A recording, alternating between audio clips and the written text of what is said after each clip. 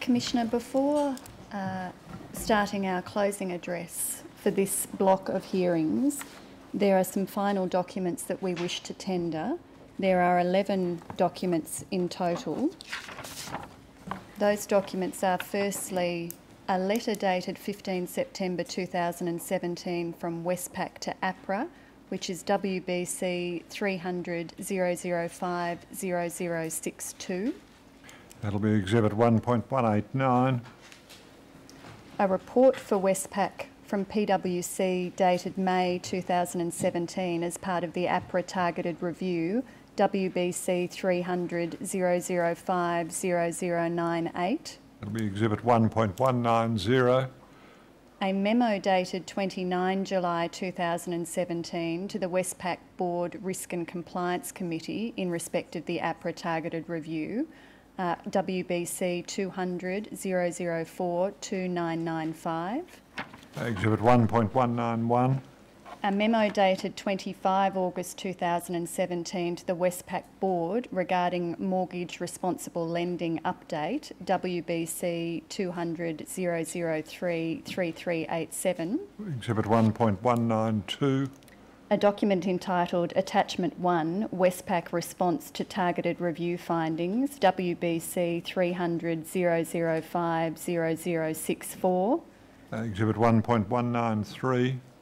An email entitled Westpac Targeted Review Report dated 25 May 2017, WBC 300 005 0096. Exhibit 1.194. Uh, a spreadsheet entitled Information Requested by APRA in Attachment B, WBC 300 005 0099. Exhibit 1.195. A letter dated 15 September 2017 from CBA to APRA, CBA 0517 0002 0001. Exhibit 1.196. A PwC report for CBA as part of the APRA targeted review dated May 2017, CBA 0517 0002 0082. Exhibit 1.197. The Code of Practice of the Mortgage and Finance Association of Australia, RCD 0021 001 0292. Exhibit 1.198. and the current version of the Banking Code of Practice, RCD 0021 001 0174. Exhibit 1.199. Uh, yes. Commissioner, over the last two weeks, the Commission has received evidence of misconduct and conduct falling below community standards and expectations by a number of financial services entities. The misconduct and conduct that has fallen below community standards and expectations has occurred in respect of the consumer credit products that we identified in our opening address home loans, car loans, credit cards, and overdraft facilities. It has also occurred in the selling of insurance with credit products and through a variety of account administration and processing errors made by financial services entities in connection with credit products such as home loans. In this closing address, we will deal with the case studies that have been the subject of evidence in turn.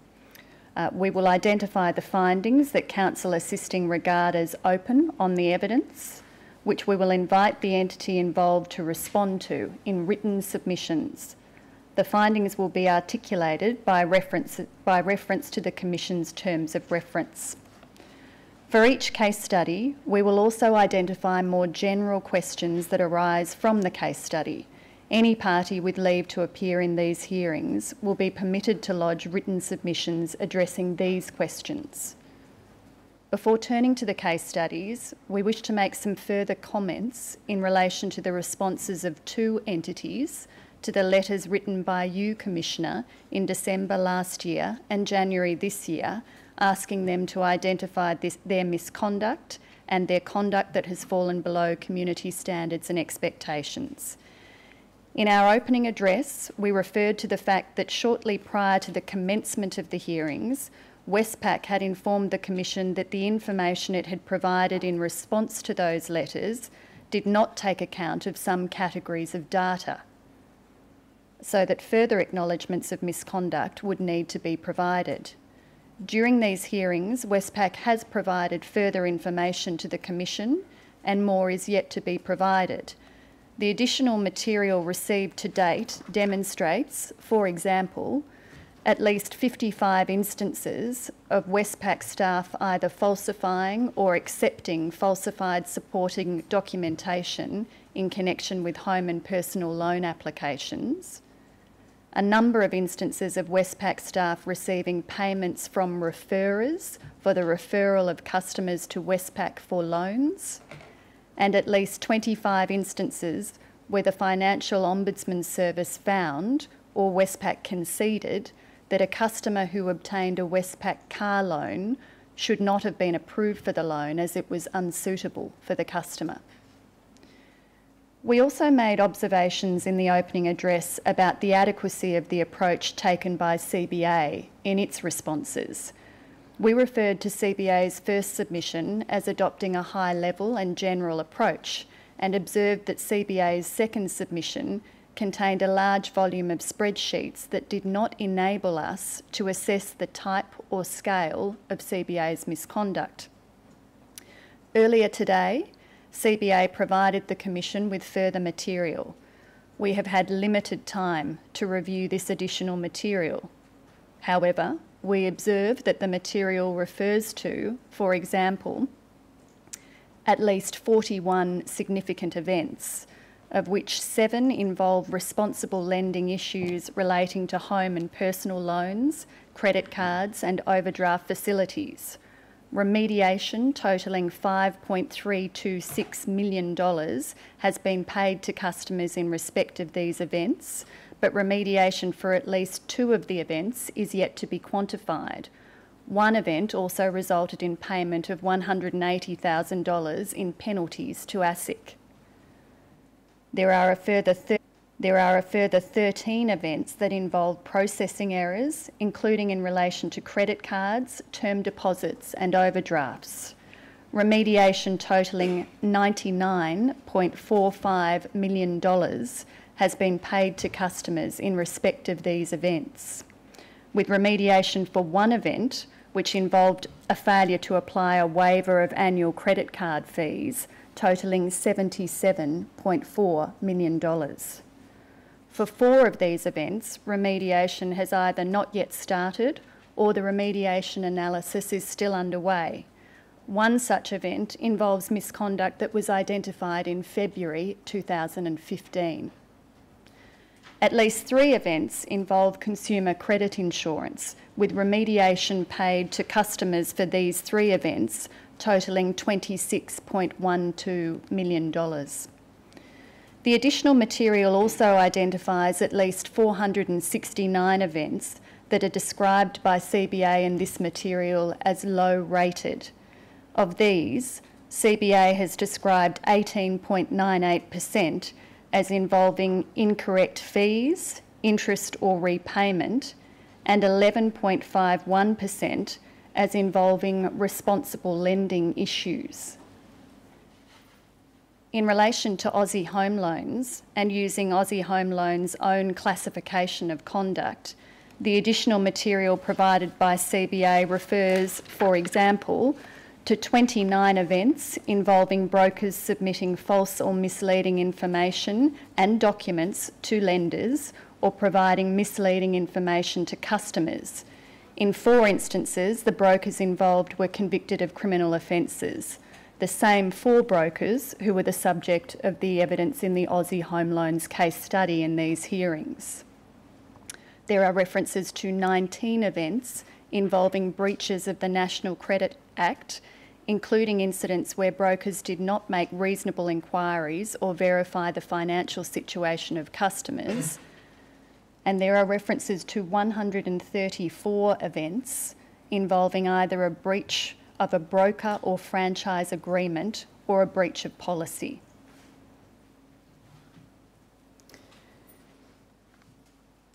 We turn, Commissioner, to the case studies. We commence with the first case study examined in these hearings, which involved conduct in connection with the NAB Introducer Program. Two witnesses from NAB gave evidence in this case study Mr. Anthony Waldron, the Executive General Manager for Broker Partnerships, and Mr. Angus Gilfillan, the Executive General Manager Consumer Lending in the Customer Products and Services Division.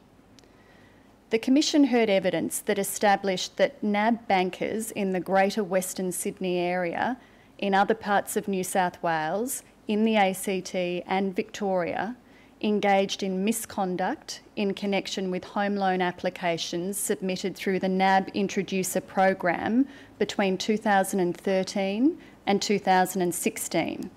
As a result of this misconduct, 10 bankers were dismissed 10 are no longer with NAB, and 32 had internal consequences applied, such as reduction of their remuneration. A number of the bankers involved in the misconduct, including a number of those who were dismissed, were branch managers. The evidence establishes that NAB bankers engaged in conduct such as falsifying documentation in connection with home loan applications, knowingly accepting falsified documentation in connection with home loan applications, receiving payments from introducers, failing to disclose personal relationships with introducers, failing to meet face to face with customers, accepting home loan application and supporting documentation from introducers rather than directly from the customer and approving home loans in circumstances where the customer did not have the capacity to service the loan and where the loan was therefore unsuitable for the customer. The NAB Introducer program was and is a program by which third parties receive a commission payment for referring loan applications to NAB. Most loans referred to NAB by introducers are home loans. The commission was and is calculated as a percentage of the loan amount and paid to the introducer when the customer's loan application is approved and drawn down. Commission payments to certain introducers involved in the misconduct totalled approximately $630,000 over four years, of which $488,000 was paid to a single introducer. NAB's internal policies during the period of the misconduct required introducers to submit minimum volumes of home loan applications. The evidence establishes that the NAB Introducer program has been a very profitable source of lending for NAB, resulting in over $24 billion in loans during the three year period from 2013 to 2016 at its peak, there were approximately 8,000 introducers in the program. As at the end of October 2015, the four introducers involved in the misconduct had provided $139.782 million of loans drawn down to NAB. By February 2016, NAB had identified 90 customers with $50 million in loans obtained in connection with the misconduct of NAB bankers and introducers, in respect of which NAB had concerns about the customer's ability to service those loans on an ongoing basis. On the evidence, it is open to the Commissioner to make the following findings of misconduct.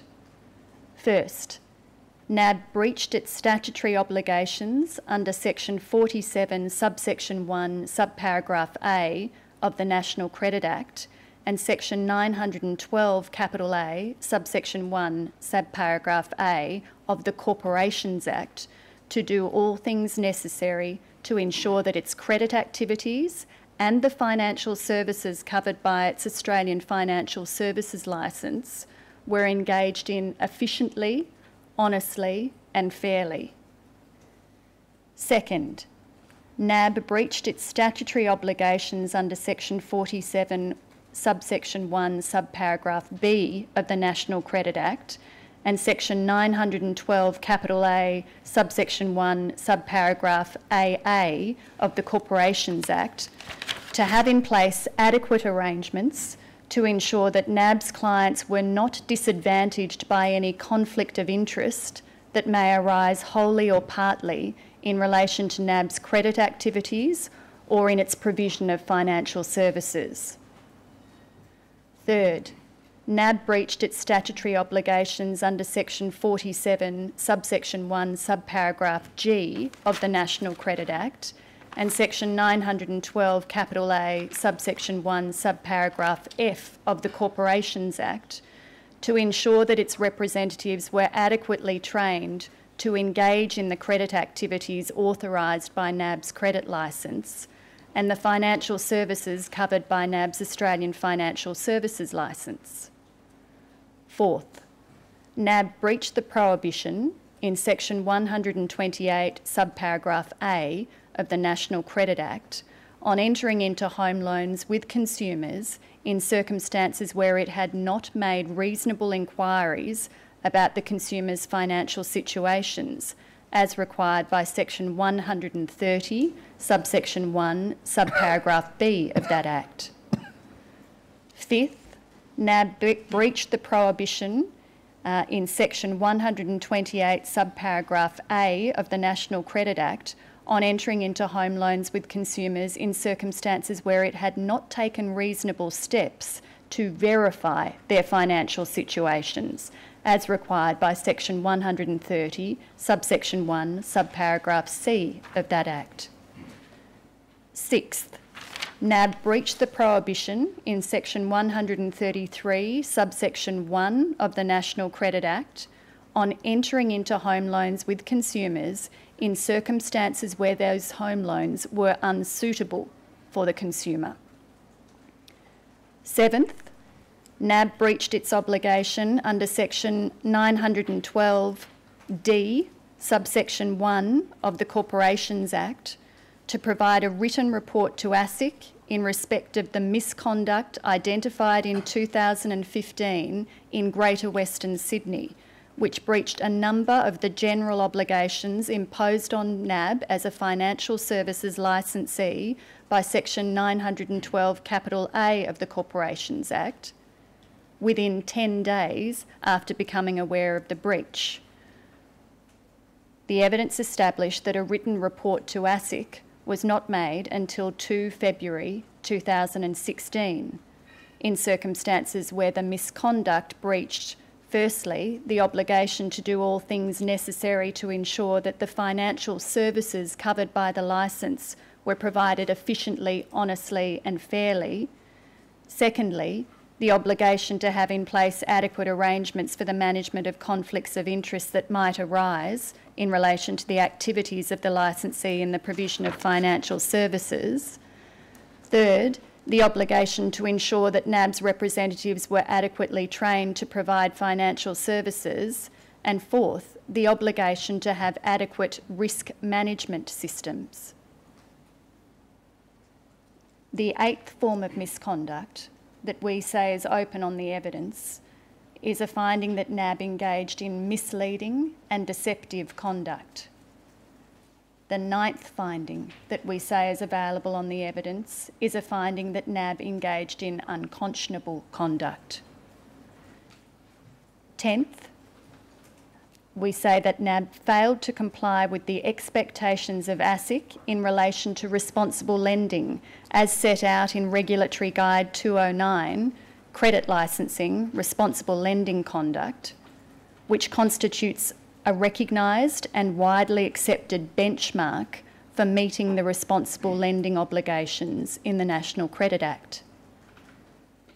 11th, NAB failed to comply with the expectations of ASIC in relation to breach reporting by Australian financial services licensees, as set out in Regulatory Guide 78, breach reporting by AFS licensees, which again constitutes a recognised and widely accepted benchmark, this time for meeting the breach reporting obligations in section 912 capital D of the Corporations Act. 12th, Well, is it the fact that those two regula- uh, regulatory guides uh, are expectations of ASIC or simply that they are uh, either accurate uh, summations of the law's requirements and/or uh, they are widely accepted commercial benchmarks. We put it, Commissioner, on the basis that they constitute recognised and widely accepted benchmarks within the industry for meeting certain legal obligations imposed by the National Credit Act and the Corporations Act. And Commissioner, the Commissioner will recall that the definition of misconduct extends uh, uh, Oh, yes. to, to those matters. Yes, yes. So, in addition to the strict legal breaches of the legislation, uh, we put to you, Commissioner, that there is another form of misconduct that is also open to fine based on the failure to comply uh, with those benchmarks as published by ASIC. Yeah, paragraph G of the definition of Yes. misconduct, yeah. Yes. Twelfth, NAB failed to comply with the Banking Code of Practice, which is the banking industry's customer charter on best banking practice standards, and is therefore, we say, another recognised and widely accepted benchmark for banking practice. In particular, NAB failed to comply with the obligation in Clause 3.2 of the Code to act fairly and reasonably towards its customers in a consistent and ethical manner. And secondly, the obligation in Clause 27 of the Code to exercise the care and skill of a diligent and prudent banker in selecting and applying credit assessment methods and forming an opinion about the customer's ability to repay home loans. Those are the findings of misconduct that we say are available in relation to NAB's conduct in the NAB case study. Uh, on the evidence, we say it is also open, Commissioner, to make findings that NAB engaged in conduct that fell below community standards and expectations. First, the evidence establishes that despite being aware uh, that it had identified approximately 1,300 customers who may have been affected by the misconduct uh, uh, that occurred in the period from 2013 to 2016, to date, approximately 71% of these customers have been contacted by NAB, and no customer has yet been offered any remediation. Second, the evidence establishes that NAB was aware of potential misconduct in connection with the introducer program in Greater Western Sydney since at least April 2015, but did not commence a formal investigation until late October 2015, following two whistleblower disclosures. The Commission's terms of reference require the Commission to consider whether any findings of misconduct are attributable to the particular culture or governance practices of the financial services entity or result from other practices of the entity, including risk management, recruitment, and remuneration practices. On the evidence, it is open to the Commissioner to find that there were a number of causes of this misconduct which are attributable to the culture and governance practices at NAB, as well as its risk management, recruitment, and remuneration practices. First, it's open to the Commissioner to find that a significant cause of the misconduct was NAB's remuneration and incentive scheme, which rewarded bankers for the volume of sales of home loans. The evidence establishes that from as early as April 2015, NAB was aware that one of the potential root causes for the misconduct was the Star Sales Incentive Program that the relevant bankers were all operating under, which rewarded bankers with bonuses for achieving certain targets for the sale of home loans. The investigation of the misconduct confirmed that the incentive program was a significant contributor to the misconduct. Although NAB has since moved many of its employees to a different incentive plan, the short term incentive plan, that program continues to reward bankers with bonuses for achieving targets for the sale of home loans. The evidence also establishes that although NAB had a code of conduct, a breach of that code of conduct did not necessarily result in withholding of the employee's bonus. Instead, certain breaches of the code of conduct, which resulted in an amber conduct gate being applied, led to a reduction in the quantum of the bonus by 25%. In the words used in one of the Project Winnow documents produced by NAB to the Royal Commission, the risk and reward equation for bankers was unbalanced in favour of sales over keeping customers and the bank safe. Second, it's open to the Commissioner to find that another cause of the misconduct was the inadequacy of NAB's policies and processes for the recruitment and training of bankers.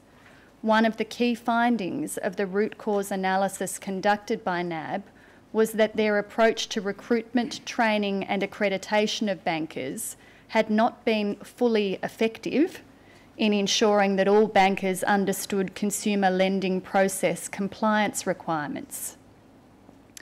Third, it is open to the Commissioner to find that another cause of the misconduct was the inadequacy of NAB's policies for the recruitment and monitoring of introducers. NAB used introducers from a variety of business backgrounds which were unconnected with financial, property, or legal services, such as gymnasiums and tailors. KPG made a series of findings in relation to the inadequacy of NAB's monitoring of introducers. KPMG? I'm sorry. Ye- uh, yes. Yes, Yes, it was KPMG. yes. KPMG brought in uh, yes. as part you of the. KPG. Oh, I'm sorry. No. I'm sorry. Yeah. KPMG made a series of findings uh, noting that NAB bankers did not clearly understand the rules in relation to introducers. Fourth, it's open to the Commissioner to find that another cause of the misconduct was the inadequacy of NAB's processes for managing conflicts of interest. Fifth, it's open to the Commissioner to find that a cause of the misconduct was the inadequacy of NAB's policies for the prevention and detection of fraud by bankers and introducers. Another of the key findings of the root cause analysis conducted by NAB was that overall control effectiveness to prevent fraud events was inadequate because it was reliant on bankers doing the right thing. Sixth, it is open to the Commissioner to find that a cause of the misconduct was the inadequacy of NAB's policies and procedures to ensure that its bankers were engaging in responsible lending. Mr Waldron agreed that gaps in the end to end loan application process were exploited by bankers, and NAB itself raised the question as to whether the end to end mortgage origination fulfilment, ongoing management, and eventual repayment required fundamental review from a controls effectiveness perspective. The Commission's terms of reference also require the Commission to consider whether the the mechanisms for redress for consumers of financial services entities who suffer detriment as a result of misconduct by financial services entities are effective. Just before we come to redress and go Yes. back to culture and go- governance practices, Yes. Um, it occurs to me that I may have to consider whether there is a disconnect between the formal limitations on the so-called spot and refer model, which are uh, that the introducer may say uh, to the customer no more than NAB's a bank that lends money. Can I give you, uh, can I give your name and contact details to the bank? And all it can say to the bank is the name and contact details of the customer are such and such. The customer may want a loan. When there is a disconnect between those formal requirements and the likely uh, conduct of introducers in the real world.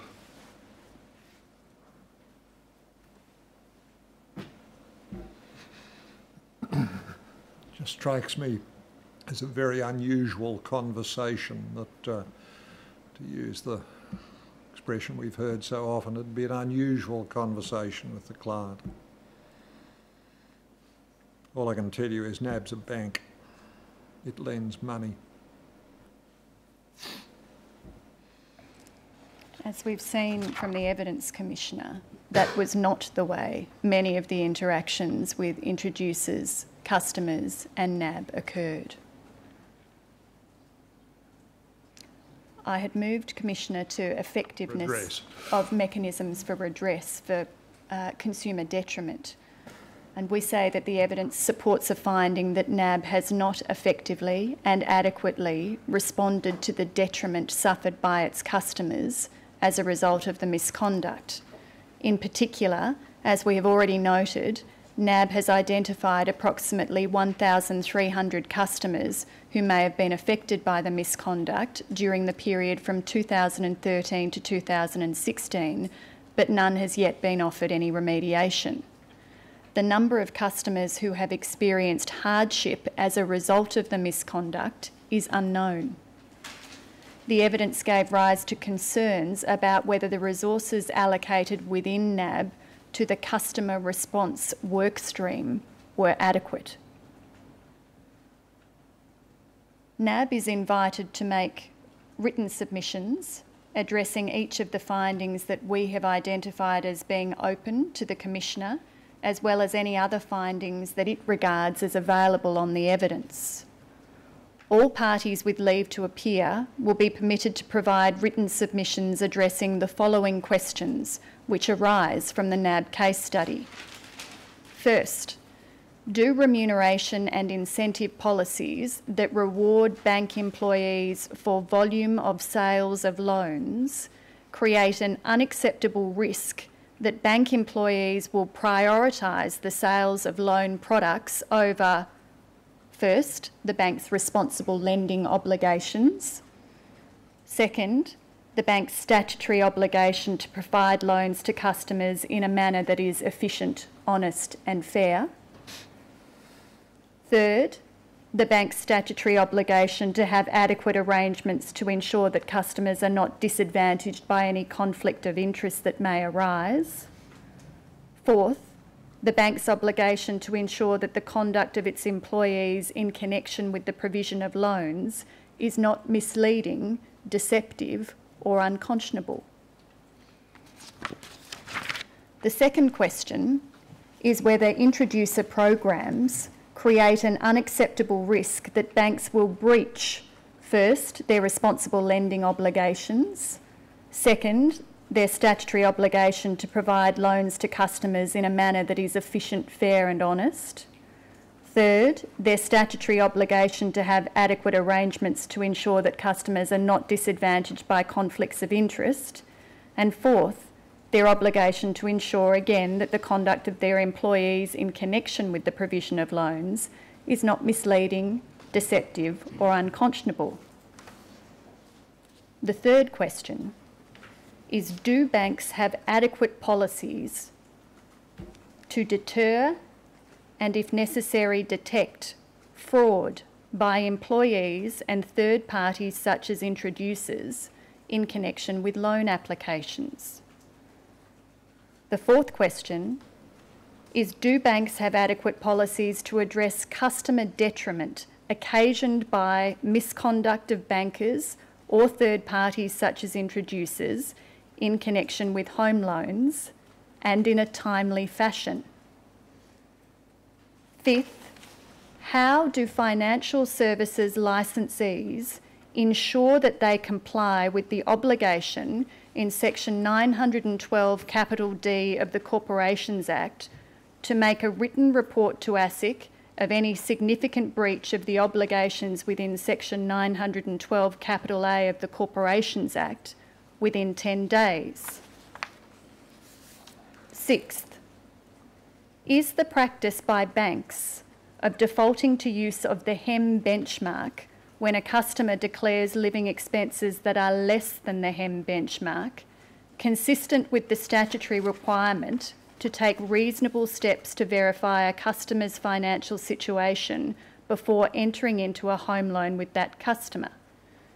Commissioner will recall that the evidence from NAB included the evidence from Mr Gilfillan, which dealt with the use of the HEM benchmark by NAB. The seventh question, which also arises from the evidence of Mr Gilfillan, is do banks too readily permit waivers of their policies in connection with the assessment of home loan applications, including policies in relation to the assessment of serviceability of the loan. We note the evidence of Mr Gilfillan that policy waivers occur at NAB on a daily basis and that they are made on approximately 15% of home loan files. We also note the findings of Ernst & Young in 2017 that in some channels up to 55% of NAB home loan files that were reviewed involved policy waivers.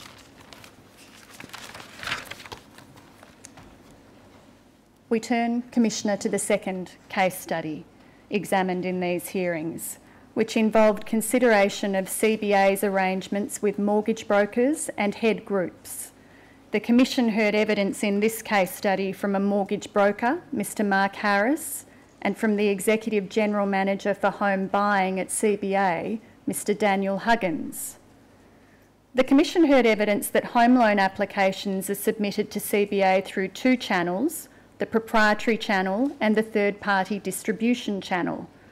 The proprietary channel refers to loans offered through CBA's employees or authorised representatives, as well as through CBA's referral source program. It represents approximately 59% of CBA's home loan portfolio. The third party distribution channel refers to loans submitted to CBA by brokers and represents approximately 41% of CBA's home loan portfolio. The home loan applications submitted to CBA through the third party distribution channel come to CBA through mortgage aggregators or mortgage franchises, which CBA and others in the industry refer to as head groups. Head groups have their own Australian credit licence and contractual arrangements with brokers. By contrast, no formal contractual arrangement exists between CBA and the brokers who submit loans to CBA. The Commission heard evidence that CBA requires those brokers who wish to submit home loan applications to it to go through an accreditation process.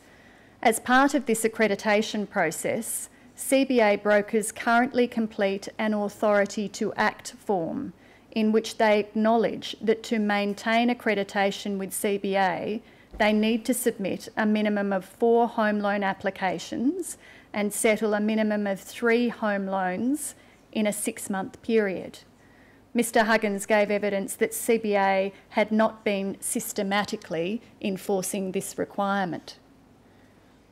The evidence establishes that CBA regards its accredited brokers as acting as its agent when dealing with customers and expects those brokers to promote its products. The Commission also heard evidence about the ways in which CBA remunerates head groups for loans submitted by CBA accredited brokers. CBA pays head groups upfront commission and trail commission for each home loan that is draw drawn down, the quantum of which is tied to the size and duration of the loan. Upfront commission is paid when the loan is funded, while trail commission is paid during the life of the loan, calculated by reference to the net balance of the home loan account at the end of each month. Head groups pass on a portion of these commissions to the brokers. CBA's contractual arrangements with head groups give CBA a number of rights and entitlements in its dealings with head groups, a number of which Mr Huggins told the Commission CBA currently chooses or will choose not to enforce. CBA's contractual entitlements include a right to alter the commission structure if the average monthly settlements for the head group in respect of CBA loans for the previous year falls below $5 million. Pursuant to the contractual entitlements, CBA pays bonuses to head groups if certain performance targets are met, as well as payments to assist with training, development, and compliance, which are dependent contractually on the head group meeting certain volume requirements for loans drawn down. Head groups are also remunera- remunerated for sales of non home loan CBA branded products provided to home loan customers such as insurance products, via CBA's Connect referral program. Such payments may also be passed on to brokers. CBA also gives non financial benefits, commonly tickets to hospitality events or sporting events, to brokers directly, the value of which is now limited to an amount of $350 per person per event. Until recently, CBA segmented its accredited brokers into tiers based on volume thresholds, with brokers in the highest tier, the diamond tier, receiving the best service offering by CBA, primarily in the turnaround time for loan application processing. Mr Huggins conceded that CBA had recognised that this structure could create a conflict of interest and said that CBA was in the process of transitioning to a two tier segmentation system by which accredited brokers would be classified as either essential or elite on the basis of the application of quality and complementary metrics so that brokers could reach elite status for reasons other than the volume of loans submitted and drawn down. It emerged during the evidence that CBA's CEO holds the view that upfront and trailing commissions for mortgage brokers can lead to poor customer outcomes. A letter dated 10 February 2017 from Mr Ian Narev to Mr Stephen Sedgwick, the independent reviewer for the Retail Banking Remuneration Review, was tendered. In that letter, Mr Narev acknowledged, on behalf of CBA, that the use of loan size linked with upfront and trailing commissions for third parties can potentially lead to poor customer outcomes.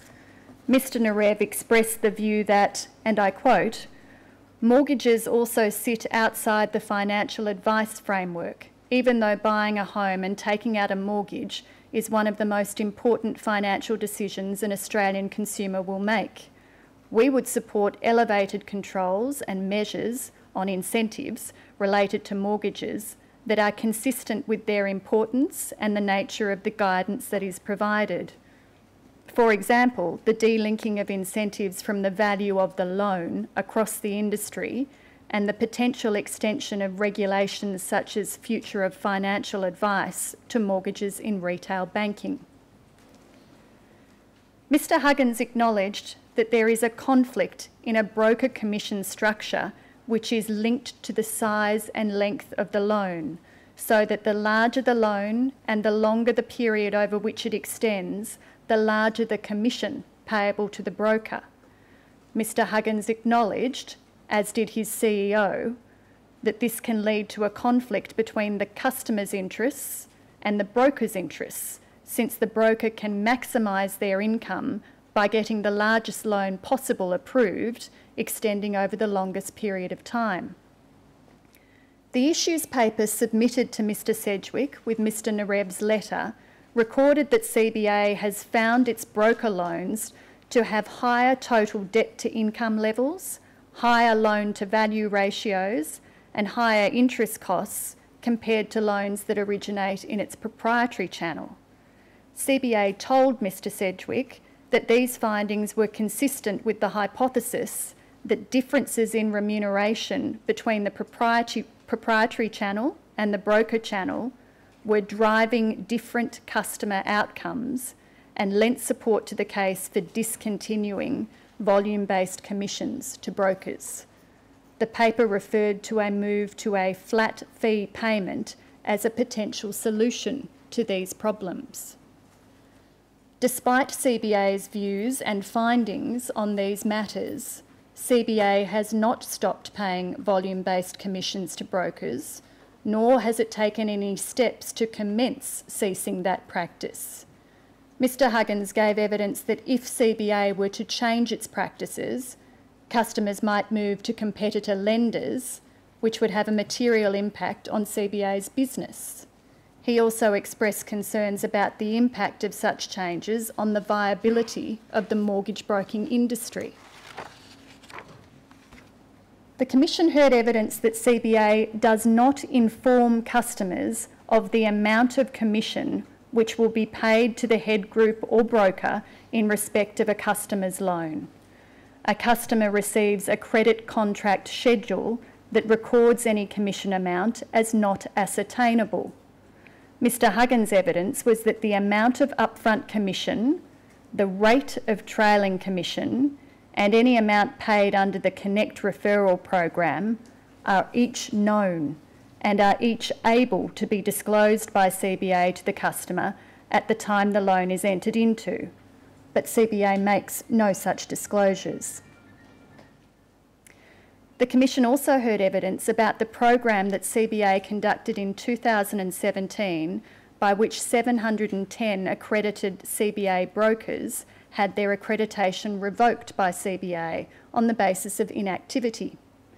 The Commission heard that CBA originally intended to re revoke the accreditation of approximately 3,000 further brokers, but that it ultimately did not proceed with this plan. Mr Huggins' evidence was that CBA had identified a group of less active or inactive brokers that were potentially associated with less desirable customer outcomes. He said that the aim of the de-accreditation program was to improve the overall quality of the brokers accredited by CBA. However, Mr Huggins conceded that in hindsight, it would have been better if CBA had not de-accredited brokers purely based on volume, but had instead required inactive brokers to undergo more training in order to ensure the quality of their work. Mr Mark Harris, a mortgage broker, gave evidence that he was accredited by CBA until 20 February 2017, at which time his accreditation was revoked by CBA with immediate effect. Mr Harris was told by CBA that his accreditation was revoked on the basis of inactivity. Mr Harris's evidence was that as a result of the re revocation of his accreditation, he is now unable to submit home loan applications to CBA on behalf of a customer. His evidence was that if he had a customer for whom he thought a CBA loan would be a good fit, he would now need to refer the customer to another broker if they wished to apply for that loan. The evidence shows that CBA is presently introducing new accreditation standards for brokers. Mr Huggins' evidence was that these standards will be focused on monitoring quality and delinking volume requirements from accreditation. The Commission also heard evidence of CBA's activities in relation to broker oversight. In August 2017, the Group Audit and Assurance Internal Audit for which Mr Huggins was accountable, found that CBA was not doing enough to monitor the activities of the head groups and the mortgage brokers who sit under those head groups. The audit report noted that it is not industry practice for banks to complete assurance in respect of aggregators and that CBA was reliant on brokers to confirm the product offered to the customer was not unsuitable. The report found that while CBA has various contractual rights to monitor head groups, it has not exercised those rights. The report listed large numbers of different types of compliance issues by brokers who had submitted home loans to CBA.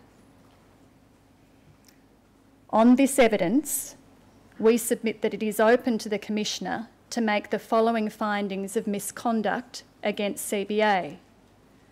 First, CBA's remuneration arrangements with brokers and head groups breach its statutory obligations under section 47 subsection 1 subparagraph B of the National Credit Act and section 912 capital A subsection 1 subparagraph AA of the Corporations Act to have in place adequate arrangements to ensure that customers of CBA whose home loans are submitted by a mortgage broker are not disadvantaged by any conflict of interest that may arise wholly or partly in relation to CBA's credit activities or in its provision of financial services.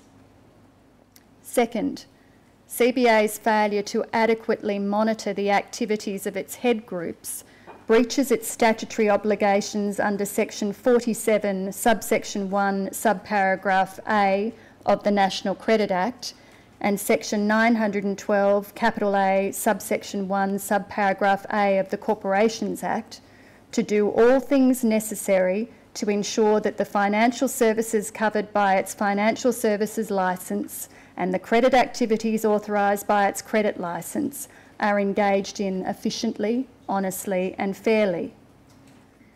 Third, CBA's failure to disclose to customers the commissions paid to head groups in respect of their loan breaches its statutory obligations under section 47, subsection 1, subparagraph A of the National Credit Act and section 912 capital A subsection 1 subparagraph A of the Corporations Act to do all things necessary to ensure that the financial services covered by its financial services licence and the credit activities authorised by its credit licence are engaged in efficiently, honestly and fairly. Fourth, Just before you leave, three, yes, uh, there may be two elements to that, I can't now recall. But it may be that the failure, if there is one, uh, would be uh, whether there was any commission payable, because I have a recollection which is subject to correction when I look back at the transcript and evidence that all that was said was a conditional statement. Commission may be charged, and then there's this question of not ascertainable. Yes, the, the, Commissioner's right. There were two separate documents. Uh, the um, Consumer Credit Schedule, which had been in place for some time, was the document that uh, recorded not ascertainable next to the word commission. Uh, the second document, which was introduced in December 2017, which was said to um, uh, improve the situation, is the document that um, we would say uh, lessened the certainty in a consumer's mind about what was going on because it made the payment of a condition seem like a possibility rather than a certainty. And there was certainly no reference to the quantum of any commission payable in that document. And that leads on not only to consideration of 47 and 912A, but also misleading and deceptive, I would have Yes, thought. it does. It Yes. does, Your Hon- Yes. Um, now, the, the fourth form of misconduct, I won't deal with misleading and deceptive conduct because um, uh, the Commissioner has already raised that, but the fourth um, form that we uh, submit is open to you, Commissioner, uh, is a finding that CBA's remuneration arrangements with brokers and head groups, as well as its failure to disclose commissions to customers, breach the banking code of practice. In particular, we submit that they breach the obligation in clause 3.2 of the code to act fairly and reasonably towards the customer in a consistent and ethical manner. On the evidence, it is also open to the Commissioner to make findings that CBA engaged in conduct that fell below community standards and expectations. First, despite taking the position that volume based commissions paid to brokers are potentially associated with poor customer outcomes, CBA has failed to remove such commissions or take steps to remove the conflict of interest created by these commissions a conflict between the broker's interest in maximising upfront and trail commissions earned from the loans they submit and the customer's interest in obtaining a loan that meets their needs. Second, by revoking the accreditation of hundreds of mortgage brokers on the basis of inactivity with immediate effect and without first providing brokers with an opportunity to satisfy CBA of the quality of their activities, CBA paid insufficient regard to the interests of brokers in being able to recommend a full suite of potentially suitable loan products to a customer. All parties with leave to appear will be permitted to provide written submissions addressing the following questions which arise from this CBA case study. First, does the use of upfront and trailing commissions for remuneration of head groups and the brokers who submit loans through head groups lead to poor customer outcomes? Second, should upfront and trailing commissions be replaced with an upfront flat fee payment? Third, is the first mover issue identified in CBA's evidence a genuine commercial impediment to change in respect of the structure of broker remuneration? If so, what can and should be done to overcome that impediment? Fourth, will the program of reforms in the mortgage broking industry announced by the Combined Industry Forum in 2017 ameliorate the conflicts of interest or any other issues that have been referred to in this case study?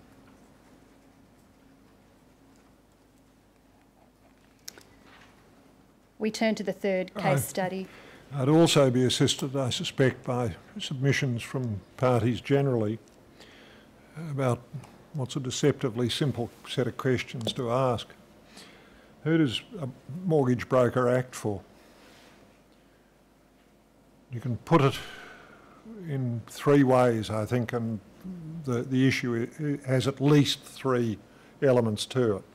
Who does the Broker Act for? That might be seen as a, an inquiry about fact or fact and law. Two, who does the customer think the broker is acting for? And third, who does the lender think the broker is acting for? And do you give uh, separate answers at separate steps along the way? If you do, what are the markers that tell you I've gone from a step where this set of answers is appropriate into the next stage where that set of answers is appropriate? So, who does a broker act for? Who does the customer think the broker acts for? Who does the lender think the broker acts for? Are there varying or varied answers at various steps? If there are, what are they? Sort of question that invites, uh, you have three hours in which to answer it. You may commence writing now, I think. Uh, don't forget to put the number at the head of each page. Do go on, Ms Orr. Commissioner, I was turning to the third case study examined in these hearings, which involved misconduct by four former Aussie Home Loans brokers, Mr Shiv Sahay, Ms Emma Khalil, Mr Madhavan Nair and Mr Bernard Meehan during the period from 2011 to 2015. The Commission heard evidence in this case study from Ms Linda Harris, the General Manager People and Culture at AHL Investments Proprietary Limited, and Mr Giles Body, the Chief Financial Officer at AHL Investments Proprietary Limited. A witness statement was also tendered from Mr David Smith, the General Manager of Strategy and Products at AHL Investments Proprietary Limited. The evidence established that the misconduct of the four former brokers included the falsification of documents submitted to lenders in support of home loan applications, such as bank statements, pay slips, and letters of employment. The loans submitted to lenders by each of these brokers gave rise to a loan book with Aussie Home Loans receiving upfront and trail commission payments from lenders in respect of each of the loans in the loan book. A portion of these commission payments was passed through to the broker and the remainder was retained by Aussie Home Loans. The size of the portion Aussie Home Loans passed through to the broker was determined by Aussie Home Loans by reference to the total settled loan amounts. The higher the value of the settled loan amounts, the higher the percentage of the upfront commission passed through to the broker. Aussie Home Loans brokers had a contractual obligation to introduce a minimum number of loans per month. The evidence established that Aussie Home Loans did not detect the misconduct engaged in by three of the four brokers, each of whom had been with Aussie Home Loans for a number of years, despite obvious anomalies in the supporting documentation that those brokers were submitting to lenders. In each of those instances, Aussie Home Loans was notified of the misconduct by a lender who had detected it. In each of these instances, Aussie Home Loans terminated its relationship with the broker. In each of these instances, one or more of the lenders had told Aussie Home Loans that they had or intended to revoke their own accreditation of the broker, and Aussie Home Loans terminated their relationship with the broker on this basis. In each of the three instances where the misconduct was detected by a lender, Aussie Home Loans was reliant on one or more lenders to conduct a review of the broker's files and investigate the misconduct. The misconduct of the fourth broker, Mr. Meehan, was detected by Aussie Home Loans as part of a file review process it undertook in respect of brokers who were submitting more than 50% of their loans to one lender. The selection of Mr. Meehan's files for review was also informed by the fact that the lender to whom Mr Meehan was submitting more than 50% of his loans was Westpac, which Aussie Home Loans knew accepted a letter of employment to verify income, a document that could be easily falsified. Aussie Home Loans did not report the misconduct of any of the four brokers to the police nor did Aussie Home Loans report the misconduct of three of the four brokers to ASIC. Instead, it submitted a standard form to ASIC notifying ASIC that the brokers had ceased as credit representatives of Aussie Home Loans. As part of ASIC's investigation into Mr Sahay, which resulted from no notification by a person or entity other than Aussie Home Loans, Aussie Home Loans subsequently told ASIC that it had terminated its relationship with Ms Khalil and Mr Nair on the basis that they were suspected of fraudulent misconduct. Each of the four brokers was ultimately charged with criminal offences as a result of their misconduct. Aussie Home Loans also did not report the misconduct of three of the four brokers to the Mortgage and Finance Association of Australia, despite the evidence that it was obliged to do so as a member of that association itself, and the evidence that it required each of its brokers to be members of that association because the association had powers to expel a broker for misconduct. Aussie Home Loans did not notify the customers of any of the four brokers of the basis on which it had terminated its relationship with the broker. It transferred the broker's customers to another home loans, Aussie Home Loans broker. Following the termination of its relationship with Mr Sahay, Aussie Home Loans was contacted by two of Mr Sahay's customers, both of whom were in a situation of distress as a result of Mr Sahay's misconduct. Aussie Home Loans chose not to advise either customer of the basis on which Mr Sahay's relationship with Aussie had been terminated. Following the termination of its relationship with Mr Nair, Aussie Home Loans made an ex gratia payment to a customer who had engaged solicitors and complained about the misconduct of Mr Nair. Aussie Home Loans was unable to explain the basis for this ex gratia payment, the sum of the ex gratia payment, or provide any other details about it. On the evidence, it is open to the Commissioner to make the following findings of misconduct against Aussie Home Loans. First, Aussie Home Loans breached its statutory obligation under Section 47 1A of the National Credit Act to do all things necessary to ensure that its credit activities were engaged in efficiently, honestly, and fairly.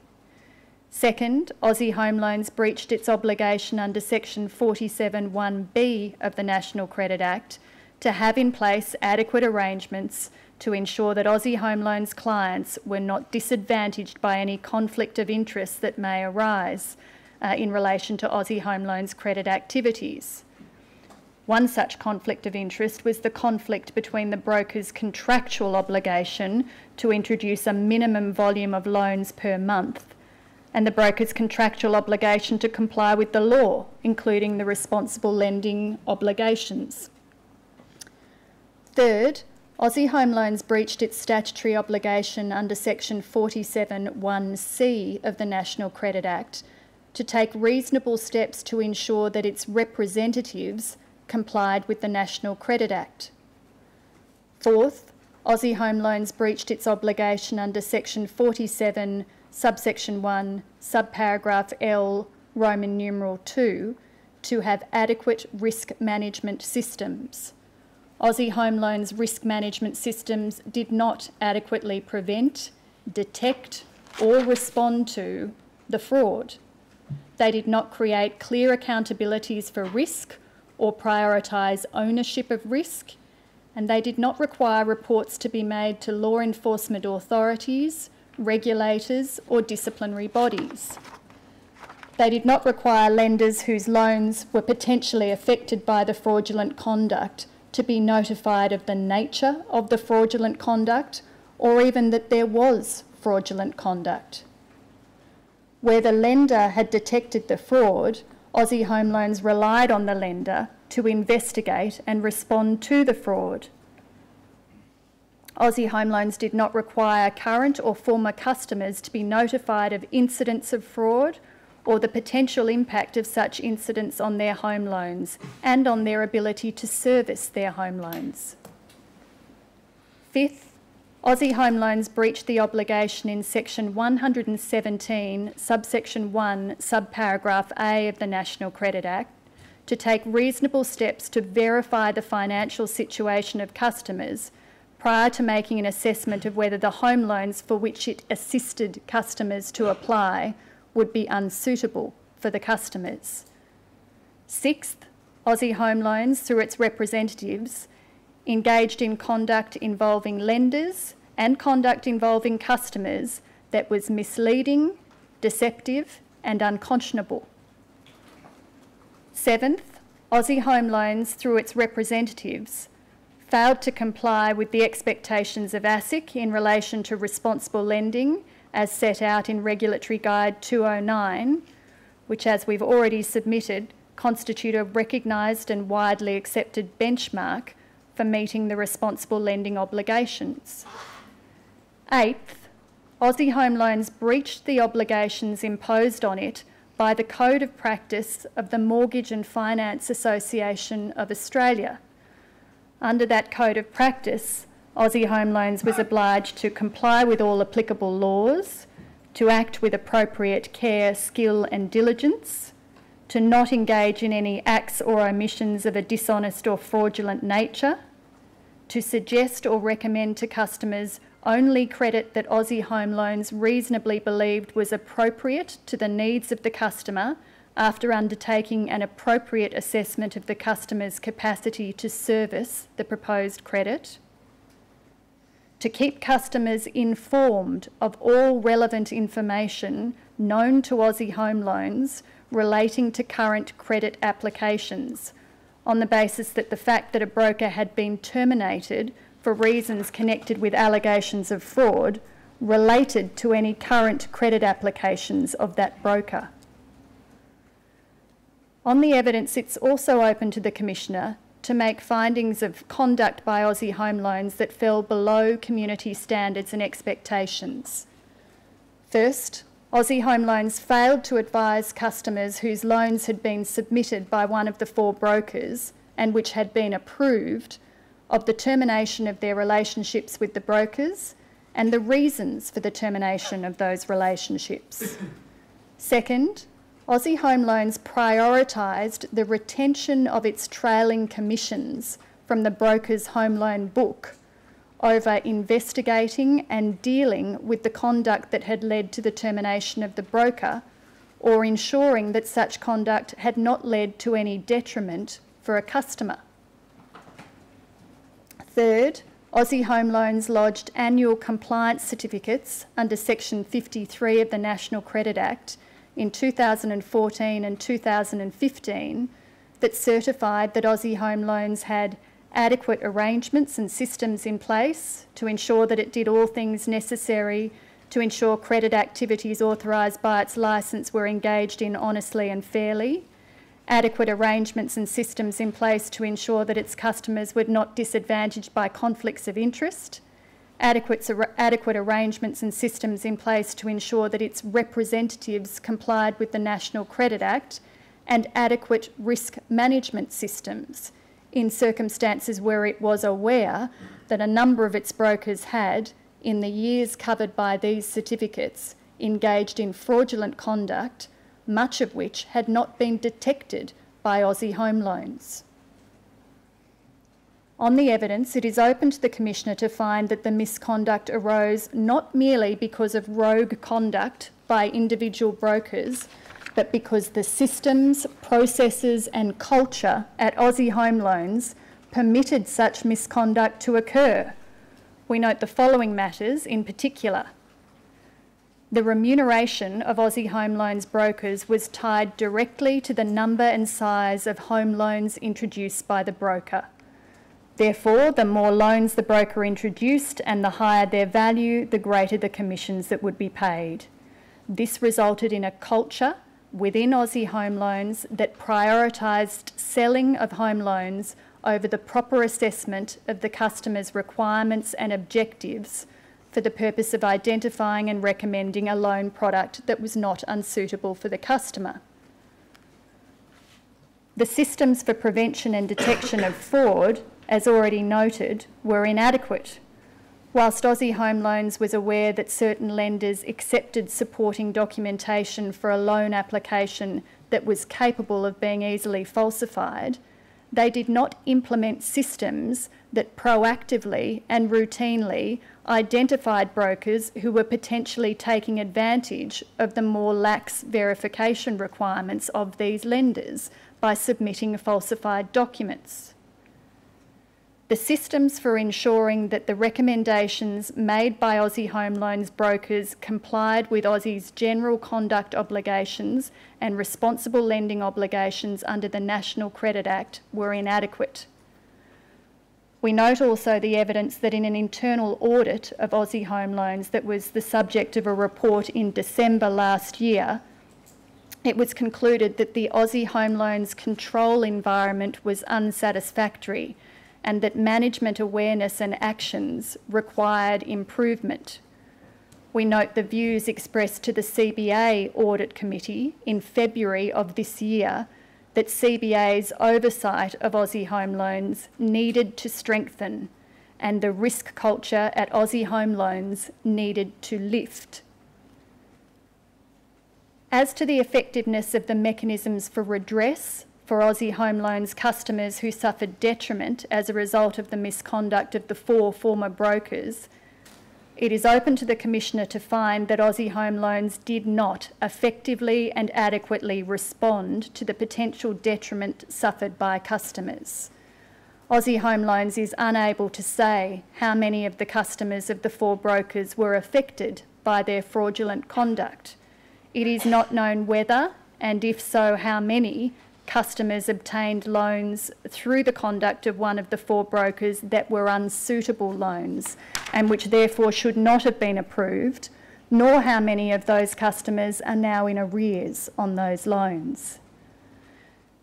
It is also open on the evidence to find that Aussie Home Loans did not effectively and adequately respond to the danger posed to other future customers of the four brokers by failing to report the details of their misconduct to law enforcement authorities, regulators, professional, professional dis disciplinary bodies, or to lenders engaging with the broker, Aussie Home Loans failed to take adequate steps to ensure those with powers to impose consequences on the brokers were put in a position where they could exercise those powers. Aussie Home Loans is invited to provide written submissions addressing each of the findings that we have identified as open, as well as any other findings that it regards as available on the evidence. All parties with leave to appear will be permitted to provide written submissions addressing the following questions, which arise from the Aussie Home Loans case study. First, do remuneration structures that reward mortgage brokers for volume of sales of loans create an unacceptable risk that mortgage brokers will prioritise the sales of loan products over their responsible lending obligations, their obligation to recommend loans to customers in a manner that is efficient, fair, and honest, their obligation to have adequate arrangements in place to ensure that customers are not disadvantaged by conflicts of interest, and their obligation to ensure uh, that the conduct uh, of the brokers is not misleading, deceptive, or unconscionable. Second, do credit licensees whose representatives engage in mortgage broking activities have adequate systems and processes to prevent fraud, to detect fraud, to respond to fraud, and to identify and address any detriment to current and former customers occasioned by the fraudulent conduct of its representatives. We turn to the fourth case study examined in these hearings. There may also be a general question, I think, about ACL holders, about uh, whether uh, those who hold ACLs as distinct from AFSLs should be made subject to a system broadly similar to the 912A plus 912D uh, reporting obligations of Part 7 of the, I think it's The Section 912D obligation. of the Corporations Yes. Act. Uh, Now, there are no doubt issues that people will say arise about 912A, 912D. Uh, Some may say that they are issues that uh, require reconsideration of the whole structure of those provisions. I don't know. But um, should ACL holders be subject to broadly similar requirements, or is there some reason why ACL holders should uh, be subject to differing reporting obligations from those that apply to AFSL holders?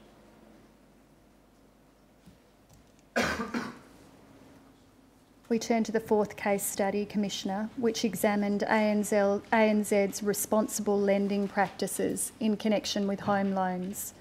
The Commission heard evidence in this case study from Mr Robert Regan, a consumer who had entered into a home loan with ANZ, and from Mr William Rankin, the lead of the homeowners team at ANZ. The evidence established that Mr Rankin is responsible for ANZ's home loan portfolio, which is worth approximately $265 billion. In FY 2017, ANZ had approximately 1.008 million home loan accounts on offer, a majority of which originated through the broker distribution channel. In the period from 1 October 2016 to 30 September 2017, ANZ sold over $67 billion of home loans, and of that amount, almost 38 billion came from the broker channel.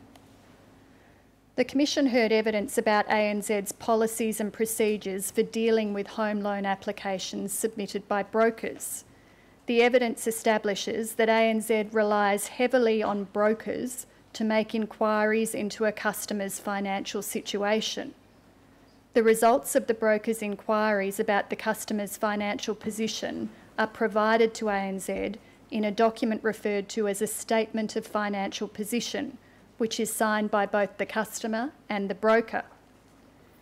The evidence establishes that ANZ does not take any steps to verify the customer's general living expenses as declared on this form.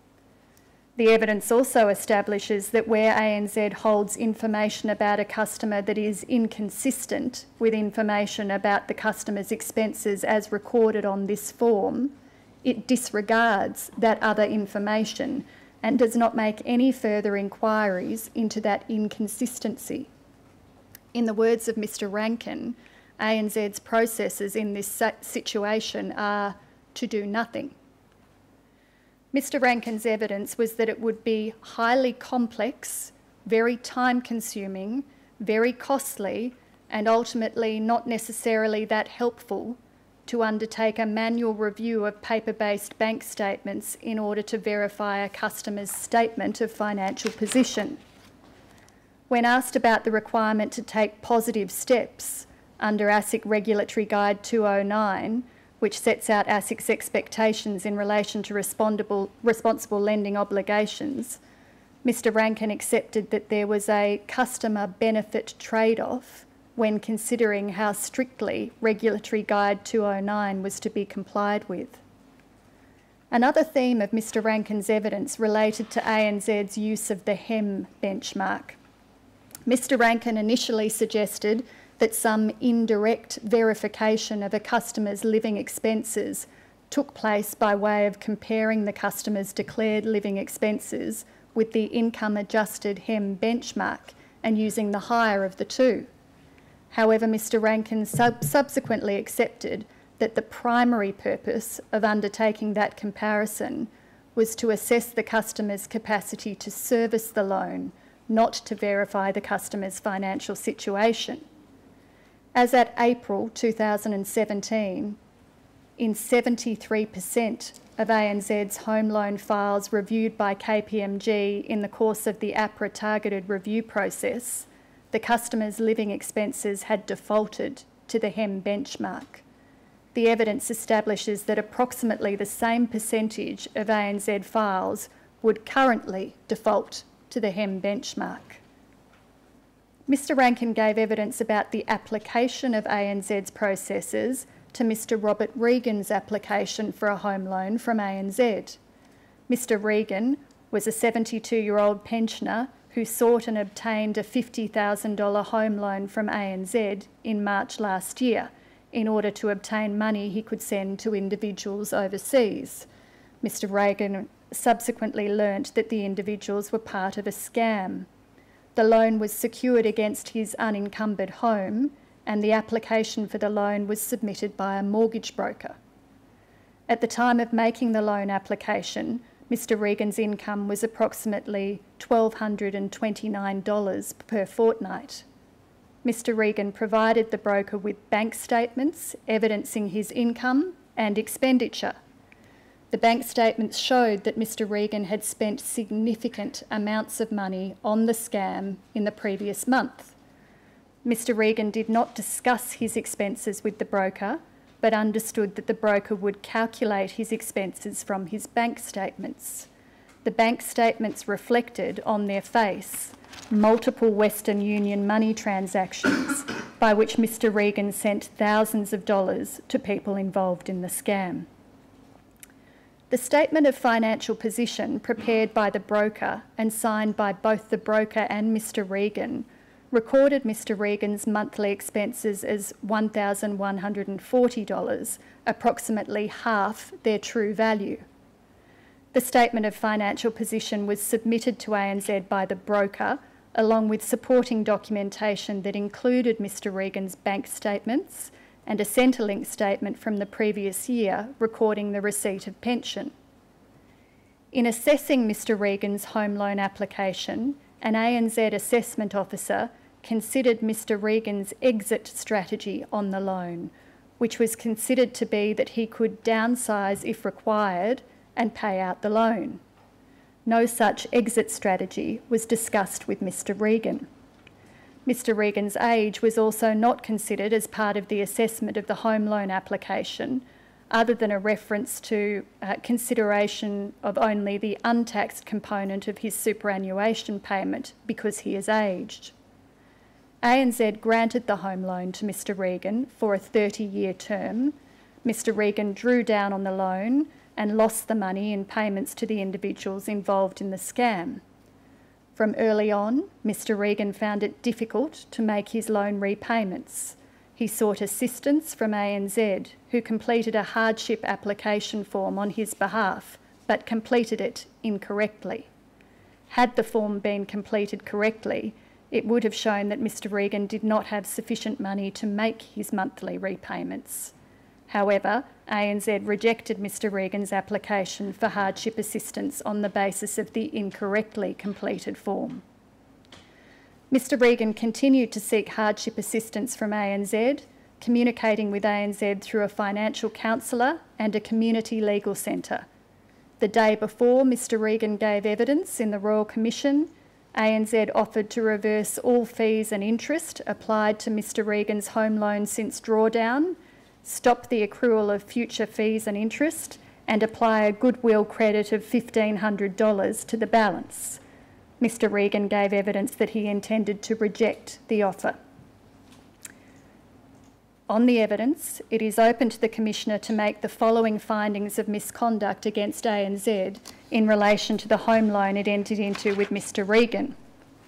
First, ANZ breached its obligations under Section 47.1a of the National Credit Act and Section 912 capital A 1a of the Corporations Act to do all things necessary to ensure that its credit activities in relation to Mr Regan and the financial services provided to Mr Regan covered by its financial services licence were engaged in efficiently, honestly and fairly.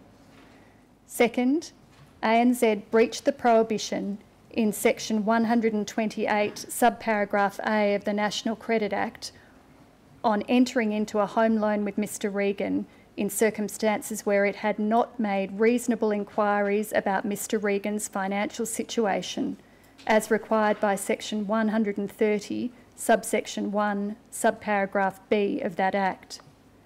Fourth, uh, I'm sorry, third, ANZ also breached the prohibition in section 128 subparagraph A of the National Credit Act on entering into a home loan with Mr Regan in circumstances where it had not taken reasonable steps to verify his financial situation as required by section 130 subsection 1 subparagraph C. Fourth, ANZ breached the prohibition in section 133 subsection 1 of the National Credit Act on entering into a home loan with Mr Regan in circumstances where that home loan was unsuitable for Mr Regan. Fifth, ANZ failed to comply uh, with Regulatory Guide 209, which, as we've already submitted, constituted a recognised and widely accepted benchmark for meeting the responsible lending obligations.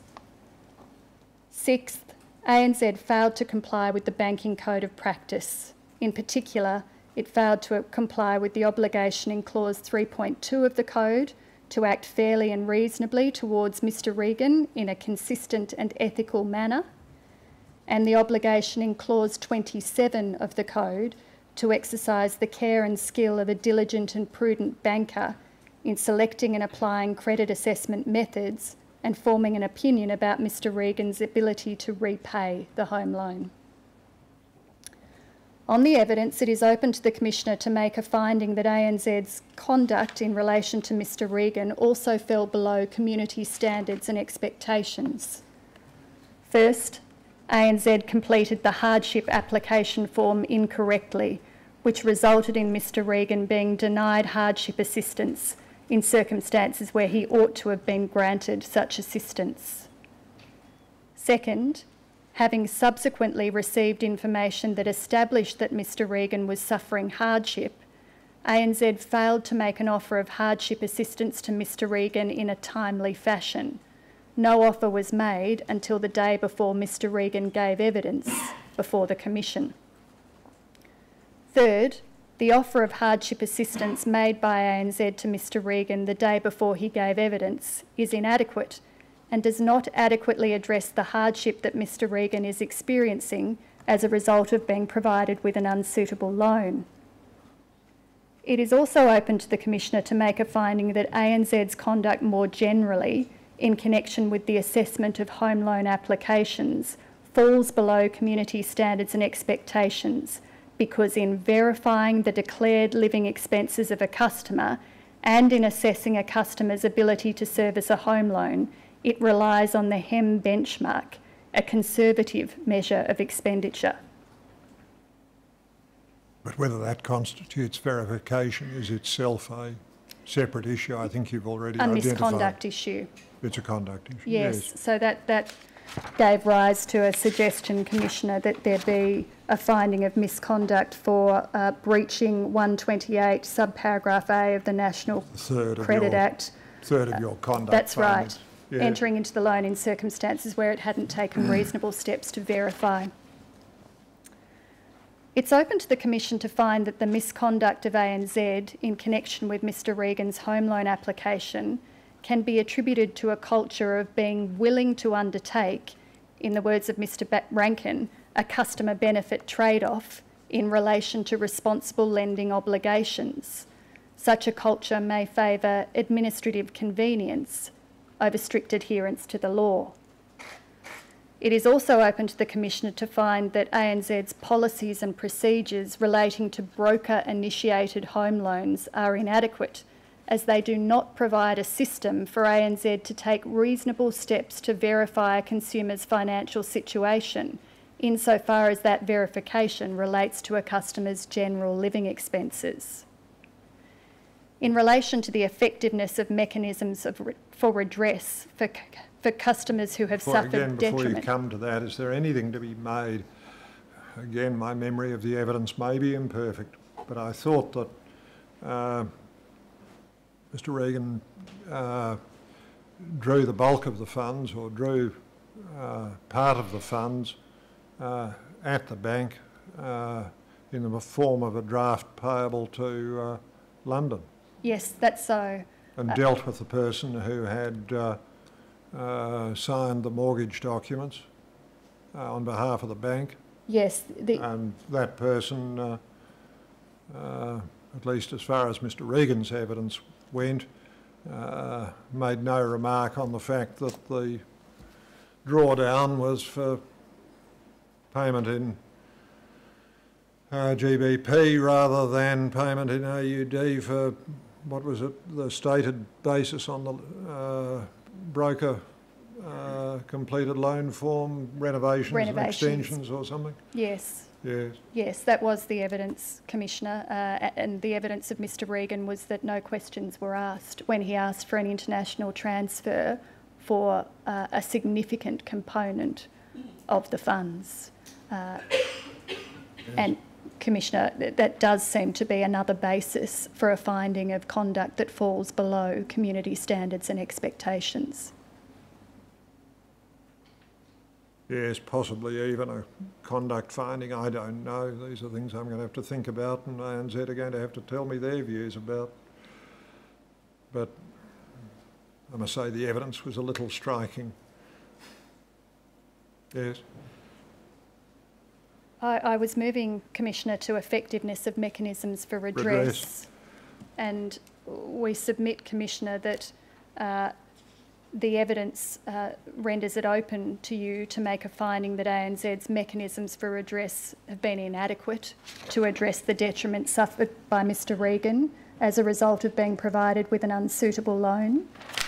This is apparent, we say, both from ANZ's conduct in relation to the failed hardship application and from the nature of the offer and the timing of the offer made to Mr Regan on the 15th of March this year.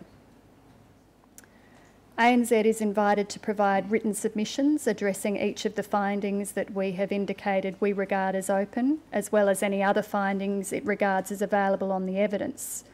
All parties with leave to appear will be permitted to provide written submissions addressing the following questions, which arise from the ANZ case study. First, do credit providers have adequate policies to, that, to ensure that they comply with their obligations under the National Credit Act when offering broker originated home loans to customers, insofar as those policies require them to make reasonable inquiries about the consumer's requirements and objectives in relation to the credit contract, to make reasonable inquiries about the consumer's financial situation, and to take reasonable steps to verify the consumer's financial situation. Second, is use of the HEM benchmark an appropriate way to deal with the difficulties associated with securing an accurate assessment of living expenses from a customer? Third, is use of the HEM benchmark appropriate in assessing whether a loan is unsuitable for a customer? Fourth, is the HEM benchmark too conservative a measure of a customer's living expenses? And fifth, does the widely known use of the HEM benchmark as a default for customers' living expenses create an unacceptable risk that brokers will fail to make reasonable inquiries about a customer's financial situation, instead opting to declare an amount of living expenses for the customer that is known by the broker to be in the vicinity of the relevant HEM benchmark. Now, it may be that the general issues in this area might go a little further, uh, at least as far as the evidence reveals, HEM seems uh, as close to universal as uh, uh may be uh, as the uh, benchmark. First is the use of any benchmark suitable. HEM, Henderson Poverty, uh, a newly devised benchmark is the use of any benchmark suitable.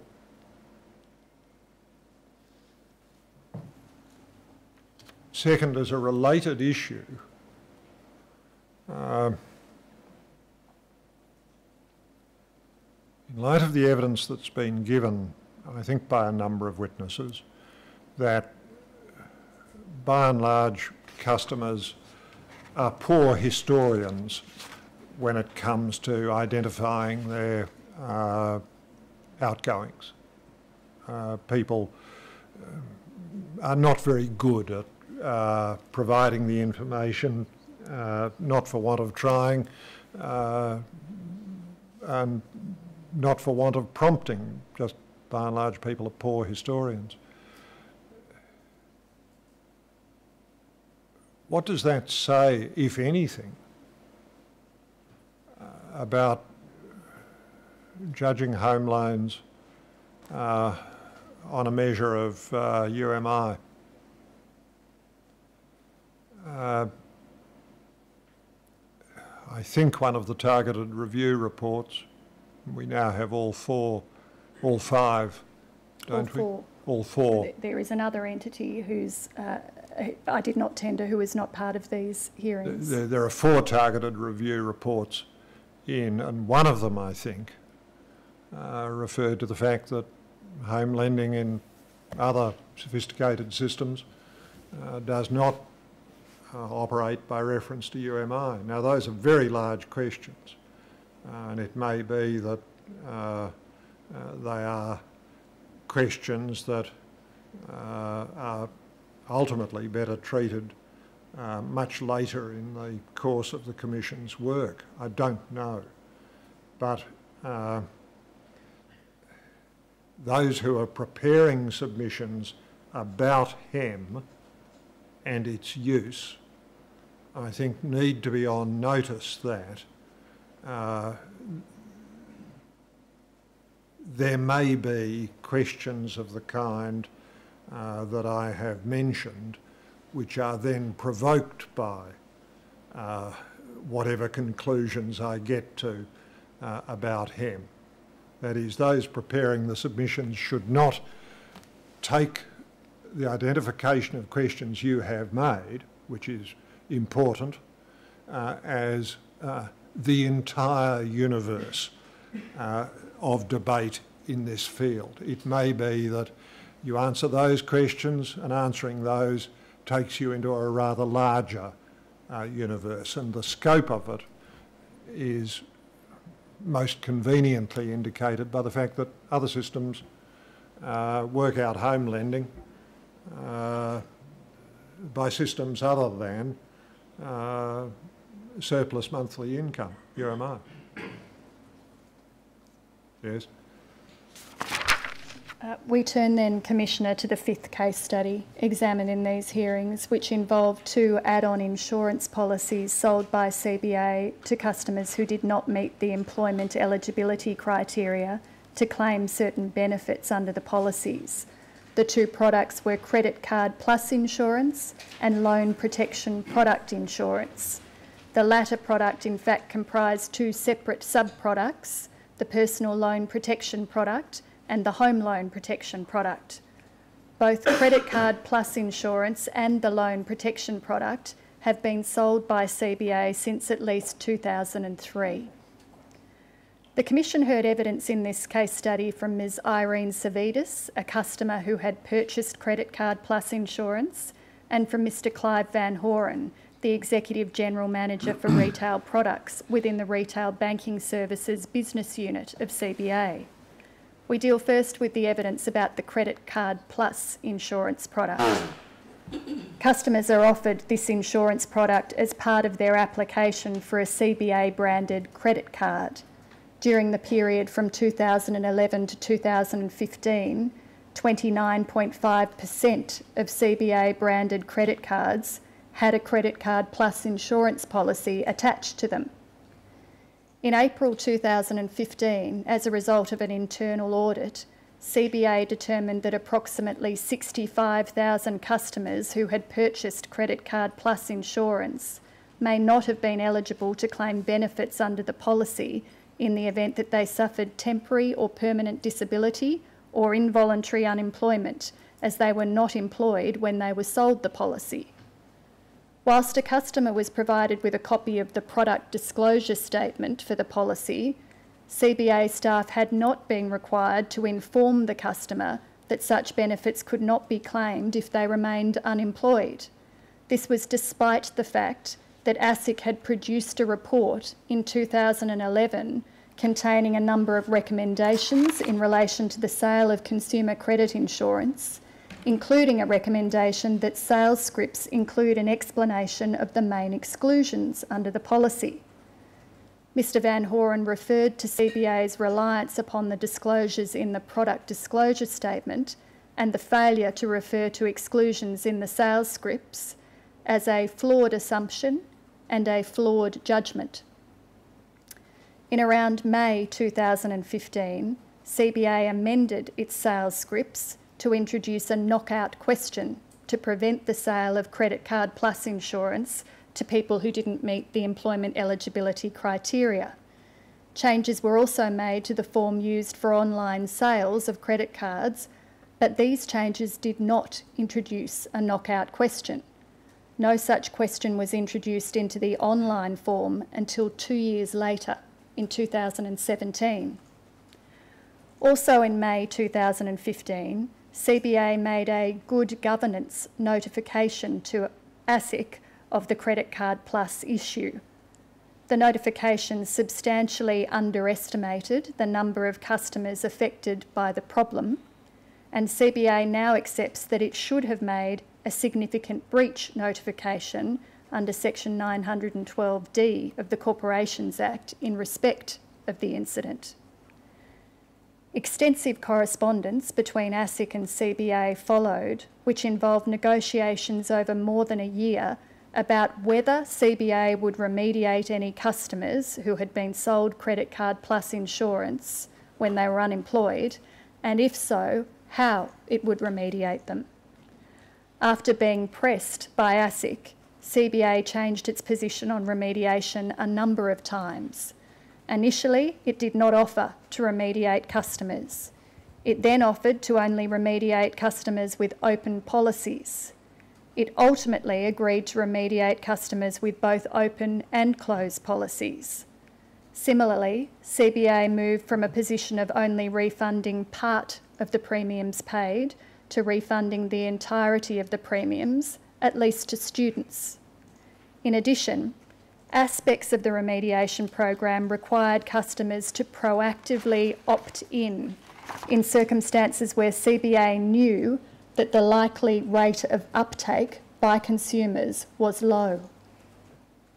Customers who purchased Credit Card Plus insurance in circumstances where they did not meet the employment eligibility criterion paid $11 million in premiums and received half a million dollars in response to claims made. CBA expects that at the conclusion of the remediation program, it will have remediated approximately 64,000 customers who will be refunded amounts that total approximately $10 million.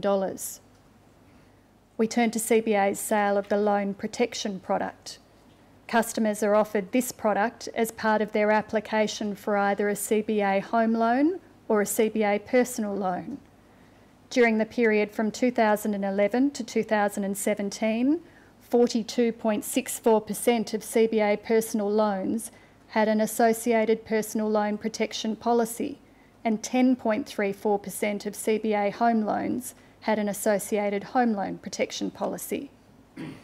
The exclusions from the LPP product were similar but not identical to the exclusions from the Credit Card Plus insurance product. Only customers who met the employment eligibility criterion could claim loan repayment cover in the event of disability or involuntary unemployment.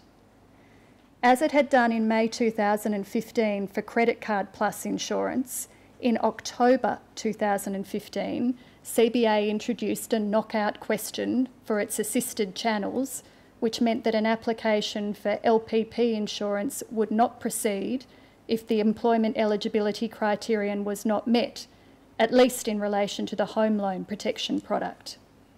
An equivalent question was not introduced into the digital online application form again until almost two years later, in June 2017.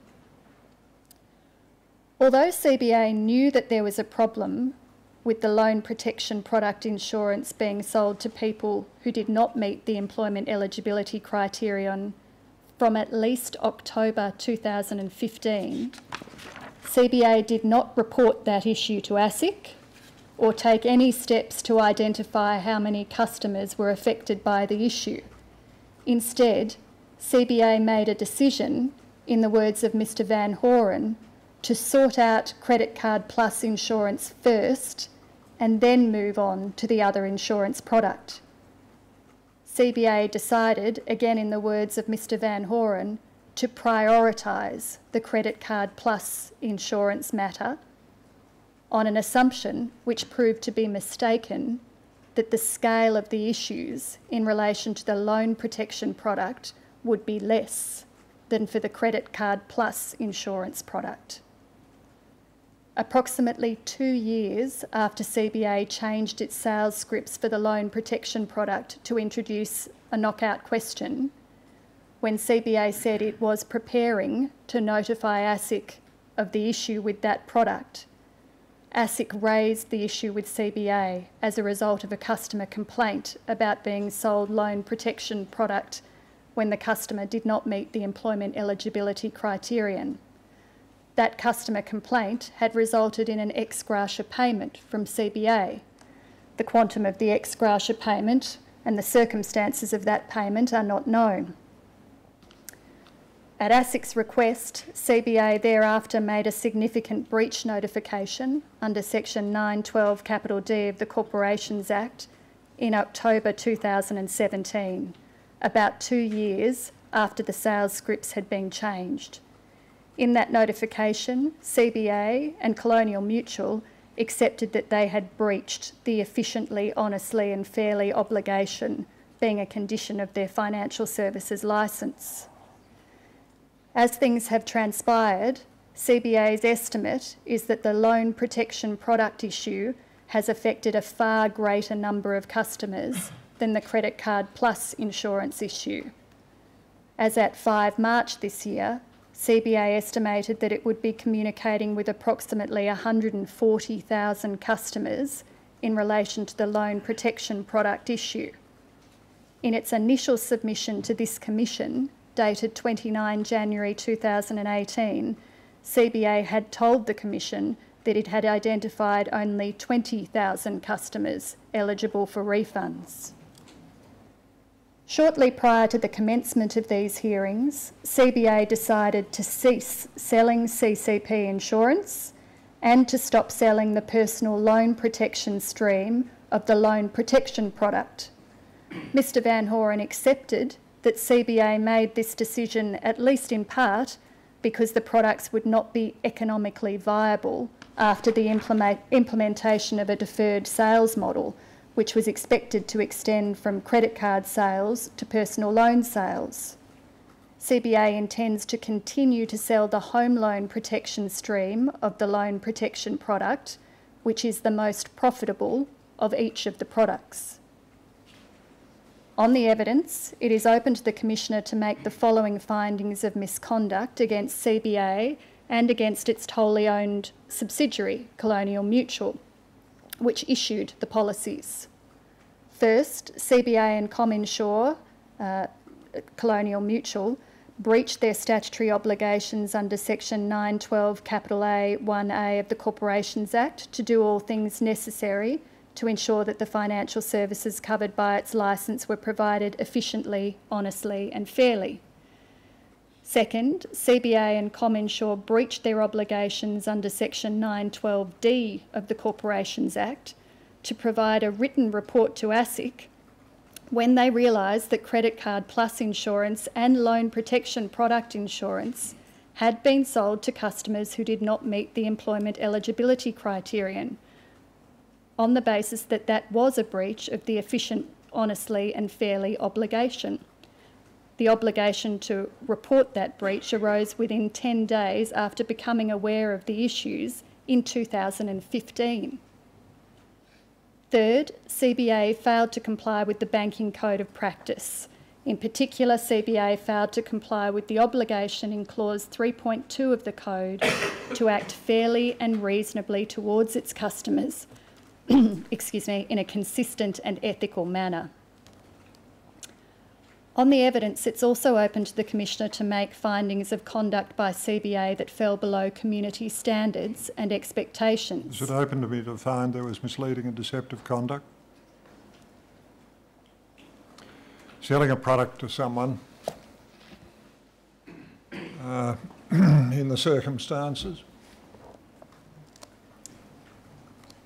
Uh, they are not eligible to claim uh, a significant benefit available under the product? The, No doubt CBA will say an answer is to be found in the product Yes. disclosure statement. Yeah. Um, Is there an issue whether that's a complete answer? yes, there is, Commissioner, but that is the issue that we identified, uh, that deep within the product disclosure statement, the customer would find these exclusions. Uh, ASIC had, as I indicated, made recommendations about the importance with these particular types of products of highlighting for the customer the exclusions, and that was not done. Well, I'll need to go back and read Ms Savidis' evidence quite closely in this respect. And therefore, what I'm about to say is not intended as an accurate representation of her evidence. Uh, But someone says to a customer, you need this to help you uh, if you hit hard times. It'll help you pay off your debt or if you die or you're totally and permanently disabled, it'll give you a moratorium or it'll pay the minimum payments, whatever the uh, benefit was, uh, if you're out of work for a few months. I would have thought there's a issue there, whether there's not M&D. Certainly in the case of Ms Savidis, we think that there is, Commissioner, because the evidence given by Ms Savidis about the conversation that she had with the person in the branch, uh, in which she was told that it was good for her and that despite the fact that she was unemployed, it would be useful in some way for her to have the product. That, we say, is evidence that yields a potential finding of misleading and deceptive conduct. A rather more general issue, which is not, uh, I think, on the table yet, but which it's useful to flag, is you have all this detailed regulation. We inevitably and necessarily get down into the weeds of the particular provisions and we uh, look at whether this paragraph of this provision applies or not. But lying behind them, there are some very general norms of conduct. And uh, a general norm of conduct uh, often worth close examination is uh, corporation shall not in trade or commerce engage in conduct that is misleading or deceptive or is likely to mislead or deceive. And that's, reflect, that's replicated in ASIC Act and uh, many other acts. But that high level, don't mislead or deceive your customers, uh, is a uh, often enough important point of entry uh, into consideration of issues. We would say that another norm of conduct that sits behind this and is relevant to this is the norm of conduct reflected in the clause of the Banking Code of Practice that I read out, which is the requirement to act fairly and reasonably towards customers in a consistent and ethical manner. And of course, statutorily, there's the honest, efficient, fair Yes. uh, provision, and I rather suspect we could have a hour or two debating uh, what the differences are, if any, Yes. uh, that emerge from the differing formula, uh, formulae that are used. But bottom line is, be honest, be fair to your customers. One's a statutory obligation, the other's a obligation that's voluntarily assumed by membership of the, uh, or adoption of the relevant code. That's right. Yeah. Uh, we were moving, Commissioner, to findings. Or you were rudely interrupted, you were moving to. We were moving, Commissioner, to findings that we say are open on the basis that CBA's conduct fell below community standards and expectations.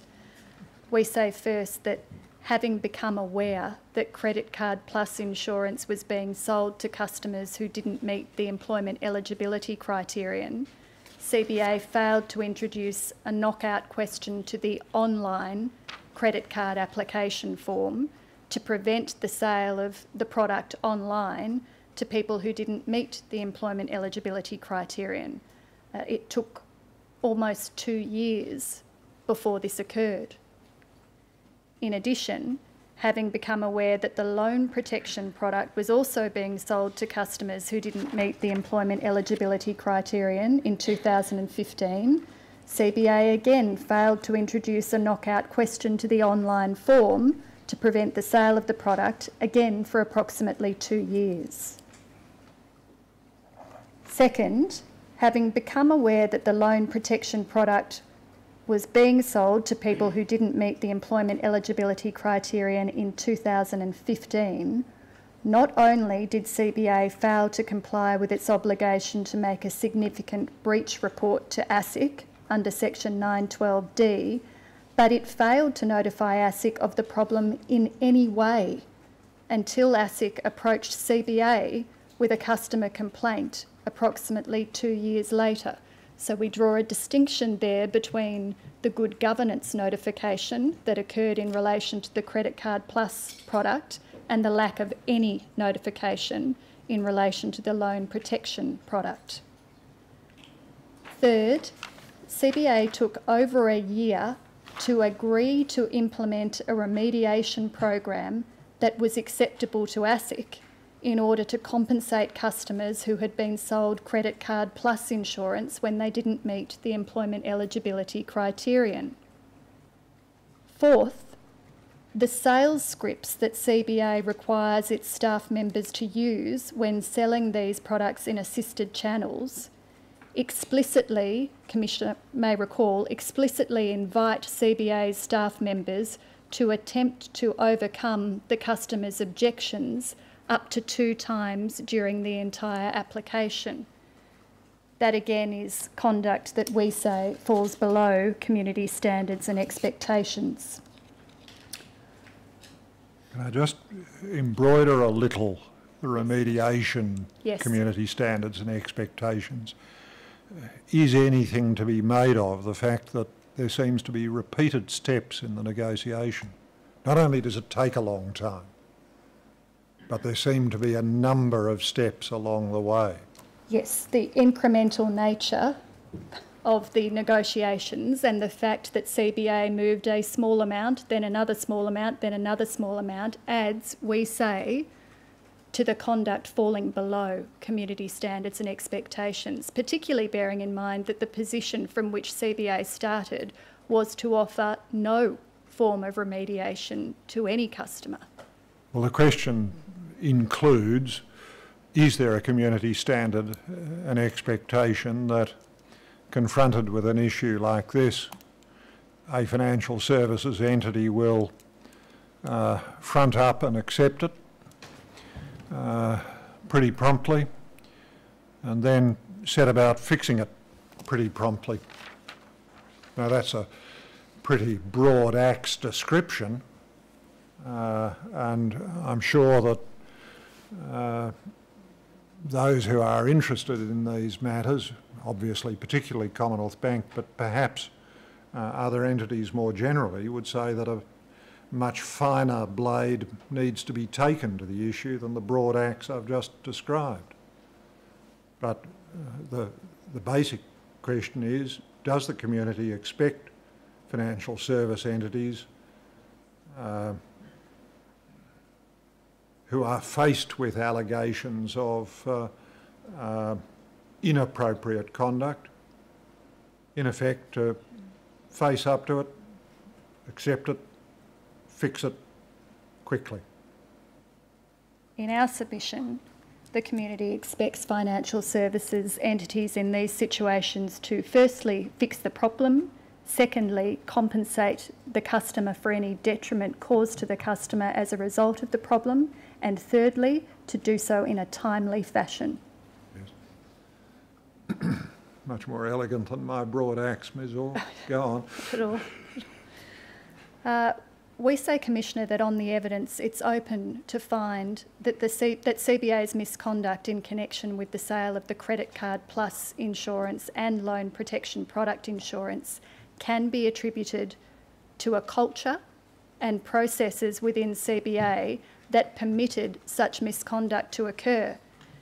In particular, we note that CBA's processes required its staff members to attempt to sell Credit Card Plus insurance as part of the credit card application process and to attempt to sell loan protection product as part of the application process for a home loan or a personal loan. CBA processes did not require its staff members to highlight the major exclusions of the two types of policy, despite the recommendations of ASIC that CBA do so approximately two years earlier. In our submission, it's open to the Commissioner to find that CBA did not effectively and adequately respond to the potential detriment suffered by customers who were sold these products in circumstances where they didn't meet the eligibility criterion. CBA was not proactive in the approach that it took to remediating customers who suffered detriment. And as we have already discussed, Commissioner, CBA's negotiations with ASIC about remediation were protracted and involved ASIC pressing CBA a number of times to extend, the scope and reconsider the form of any proposed remediation program. In relation to customers who suffered detriment as a result of the sale of the loan protection product, CBA elected not to attempt to identify them or address the detriment they had suffered until the issues with the Credit Card Plus insurance product had been resolved some two years later. Mr Van Horen accepted that this was, at least in part, based on an assumption that CBA could compensate those customers at a later point in time? Well, the premise seemed to be that CBA could cope with one thing at a time, not two things. I'd be interested in CBA's submission about that. The questions that we pose, Commissioner, for written submissions by any party with leave to appear that arise from this case study are as follows. First, are the processes that financial services licensees have in place for the sale of add on insurance sufficient to ensure that those entities comply with their obligations under section 912A 1A of the Corporations Act, the obligation to do all things necessary to ensure efficiently, honestly and fairly. Second, are existing legal mechanisms considered in light of the regulatory changes which are anticipated to come into effect under the deferred sales model sufficient to address the issues associated with the sale of add-on insurance to customers identified by ASIC in its report 256. Third, how do financial licenses, financial services licensees ensure, this is a question we posed in another case study as well, that they comply with their obligation under section 912D of the Corporations Act in relation to reporting significant breaches. Commissioner, I see that we're already Yes, past uh, four o'clock and in anticipation, I'm sorry. Can I just, while we're talking about general issues uh, arising out of add-on insurance, Yes, uh, other parties might also be good enough to address a question which can be framed at its most general as what am I to make of the fact that CBA has chosen to withdraw from this uh, or from large parts of this market? Am I to make of that that CBA has made a particular commercial judgment which is uh, distinctive uh, to uh, CBA, or am I to make of that anything uh, about uh, whether other entities can or should be looking at uh, their continued participation in that market? That is, do other entities want to be heard to say, look, what CBA has done is a matter wholly for CBA, it's absolutely irrelevant to what we do, or is it uh, an observation that CBA has got out of large parts of this market that uh, I might take to account in deciding whether other financial entities could, should, might uh, look carefully at either participating at all or participating only in certain ways or participating only with certain uh, uh, particular ring fences around them. Now, you are pointing to the time. Uh, Ms Orr, we've still got how many uh, case studies to go? still have the last few days of case studies to go, Commissioner, but in anticipation of potentially running out of time, we have prepared uh, our submissions, our closing submissions in relation to those case studies in writing, and we would be happy to make those submissions available to the parties. Right, so long as the parties don't run away with the idea that somehow uh, these last few days are to be treated as uh, sort of B grade, second class, uh, less important uh, than uh, those matters you've addressed orally. Uh, the fact that we resort to writing simply uh, might tell you a deal about my stamina, Ms. Orr. Uh, so, what arrangements can we make to get copies of the balance of the subs? We, we can upload the written submissions to the court book, to the online court book immediately. Right, so the So parties can get access to- them, to them before close of business tonight, Commissioner? so the timetable set can stay Yes, in cement. Yes. Uh, There we are. Well, um, thank you very much, Ms Orr, uh, for your submissions. I'm sorry that uh, my stamina uh, should uh, prove to be finite. Uh, I suspect the stamina of all in the room may have proved to be finite. Um, May I thank all who have participated in round one in uh, the various respects uh, for their contributions to it. Uh, As I ha- have announced earlier, uh, round two of hearings is planned to commence on 16 April, and uh, at least it is intended that uh, it should be conducted uh, in this courtroom uh, commencing on 16 April next. I'll adjourn the commission until 16 April at 09.45.